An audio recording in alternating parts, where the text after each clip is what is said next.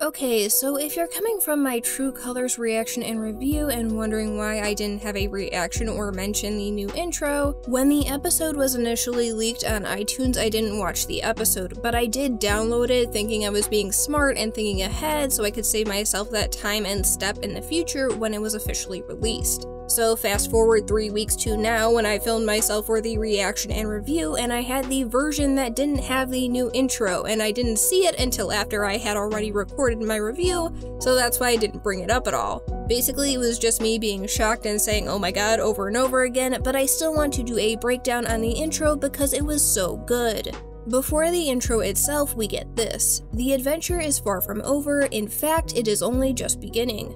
Now first off, the intro is remixed a bit, and I don't know if it's just because it's new, but I really like the new sound and feel of it. But the first shot we get is of Anne and the planters from True Colors getting transported to Earth, specifically Los Angeles and the new wide shot is now of the LA area instead of Amphibia. From there, we get a few new shots of Anne's neighborhood like construction workers and a girl walking her dog. And then we actually get to see the Boonchuy home. And Anne has a new outfit with two shoes. Two shoes, people! Her shirt also has a flame on it, and I wonder if this is a nod to the Super Saiyan fire hair that Anne had in True Colors. And now the Planters will be living with Anne and her family, which is a nice reversal of what the series has been thus far, which is the Planters letting Anne into their home and become a part of their family. Now Anne and her family will get to do the same. Inside the Boonchuy home, we see Sprig pop out of the freezer rather than the window from the original, and there is a little easter egg to apple and onion on the fridge, and also the ice cream is mint chocolate chip, which during the pre-stream that Matt Braly did, said that that was Marcy's favorite flavor, so Matt was teasing the intro before we even had any idea about it. We then get to see Anne's parents. We've seen her mom before, but I believe this is the first time we get to see her dad. And one of the biggest questions is how much time passed on Amphibia versus Earth.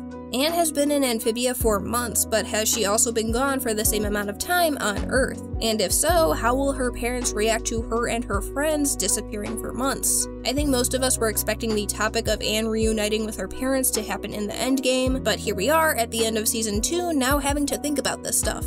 But at the very least, Anne's parents and the planters all seem to be getting along, and I can't wait to see what kinds of interactions these two families of Anne have. We also get to see Domino, and for those of you who don't know, Domino is actually based off of Matt Braly's cat Domino. And I think it would be really funny if Polly and Domino have some sort of rivalry in season 3, but next we get a new shot of Anne and Sprig jumping on some umbrellas instead of the mushrooms from the original intro. We then see Anne, Sprig, and Polly running in an alleyway. This alley also happens to be the alley that Sasha tagged from the flashback in Reunion. But we see that the trio are running from a frog robot, meaning that things from Amphibia are going to be making their way to Earth. The box is still in Amphibia, so Andrias will probably still be working at invading Earth. Next, we see the planters at a museum evading a security guard, and I also want to point out these glasses that Hop Pop is wearing because I'll bring them up later. But I wonder how people are going to react to anthropomorphic frogs walking around. Anne's parents seem pretty cool with it, but I can see others not being as accepting. And the next shot seems to indicate that since the gang is being pursued by authorities as Anne is driving a moped, one of which is an undercover ice cream truck and the two inside will also show up again a bit later. Our next shot is of the dragonflies that we've seen in Amphibia flying through the skies on Earth, followed by a giant robot as well as smaller robots. So yeah, Andrias definitely seems to be prepping his invasion of Earth and will be sending forces periodically. But next we see Sasha and Grime in Wartwood, which means that Sasha and Grime are going to be allied with Wartwood, which means a redemption arc is incoming for these two. And I'm so excited to see these two win over Wartwood and then work together to fight Andrias. We then get to see some new human characters. We see Anne's parents, a doctor or a scientist with blue hair, what seems to be a museum employee, possibly someone we'll meet at the museum we saw earlier, a pair of robotics engineers who will probably be the ones to repair Frobo since his remains are still with the gang. And then we see a human looking version of Hop Pop, and the glasses and even the nose matches the look Hop Pop has in the museum, so maybe Hop Pop is going to try and disguise himself as this guy. We also see the two undercover agents from before in the back. My guess is that they'll be keeping an eye on Anne and the planters and try to investigate them. We then see Andrias in the basement that we saw at the end of the first temple, and behind him Marcy in a tank. She does appear to be alive since bubbles come out from her mask, and I figured Marcy wasn't dead. It would have been a bold move, yes, but story-wise it just wouldn't make sense. But just because Marcy is alive, that doesn't mean that the situation she is in is okay because she seems to be connected to the creature in the basement in some way. If she's not connected, she at the very least is going to be used as part of Andrias and this thing's plan, which isn't great and I'm sure that Sasha will work at trying to get Marcy back to safety. But I'm just glad that Marcy is seemingly alive right now. Killing her off would have left me feeling like there was so much more potential for her arc, but now we'll actually get to see where that goes from here. We then see more robots attacking Anne and the Planters,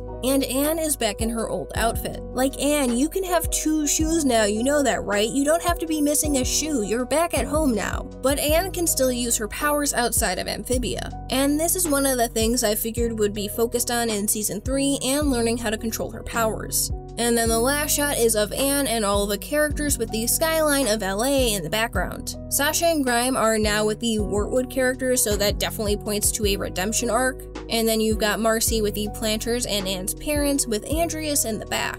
And I don't think Marcy will be comatose the whole season. At some point, she'll be able to jump back into the fray, and I think this ending shot is pointing at that. But this shot is definitely wallpaper worthy, and I know I'll be adding it to my desktop. And the other exciting thing is that we'll also be getting a new outro, so we still have that to look forward to. And I don't know if it's just because it's new, but I loved this intro even more so than the original. And this was such a wonderful surprise after the whole True Color situation and has definitely gotten me even more hyped for Season 3. But with that, those are my initial thoughts and my breakdown on the new Season 3 intro. Thank you so much for watching, I hope you have a fantastic day, and until next time guys, take care.